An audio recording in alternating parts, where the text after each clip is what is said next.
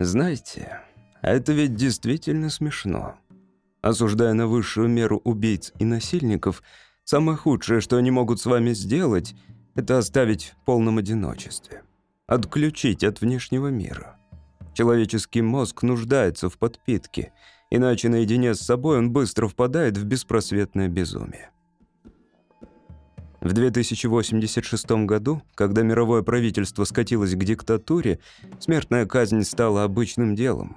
Но люди боялись именно этого — седации. Это наказание грозило только за измену родине. Что до меня, то очень давно я работаю гробовщиком и палачом в одном лице. Занимаюсь изготовлением одиночных камер и приведением приговора в исполнение. Вот как это работает. Ячейки отливаются по специальному шаблону, чтобы точно соответствовать приговоренному. Руки вытянуты в стороны под углом 30 градусов, ноги на 45. Перед помещением в ящик предателей усыпляют. Глаза, уши и рот не повреждаются, но все они плотно закрыты. Через горло вставляется дыхательная трубка. Для подачи питательных веществ мы используем три капельницы, в случае отказа со временем одной или двух. Для удаления отходов используются катетеры. Приговоренных запечатывают и хоронят на публичном кладбище предателей. Автономных запасов хватает лет на 80, но с этого дня они уже считаются мертвыми. Ужасно, не правда ли? Такой была моя работа последние 20 лет. Я уже практически свыкся с ней. Каждый день на кладбище предателей хоронили одного человека — История приговоренного каждый раз попадала в вечерние новости вместе с его неистовыми мольбами о помиловании. В течение многих лет это не причиняло мне беспокойства.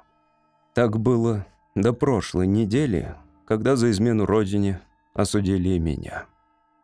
Я не спорю, я виновен, но после того, что я видел, удивительно ли, что я решился на убийство. Этот режим должен быть свергнут — Этой варварской практике одиночного заключения должен быть положен конец. Но для этого нужно что-то большее, чем такой человек, как я. Сегодня я очнулся после седации. Глаза и рот залеплены. Оглушительная тишина и ослепительная чернота окружили мой охваченный паникой мозг. Срабатывает реакция «бей» или «беги». Вот только это невозможно. Ты запаян и не можешь пошевелиться. Невозможно сдвинуться ни на миллиметр. Даже пальцы застыли на месте. Остается только думать обо всех тех людях, которых я поместил сюда. Обо всем, что я хотел бы сделать по-другому. Не знаю, сколько я уже пробыл здесь. Может быть, больше недели. С трудом в это верится. Время тянется бесконечно долго. Я бы выбрал смерть, если бы мог. Отдал бы все, чтобы отвратить предательство, которое я совершил.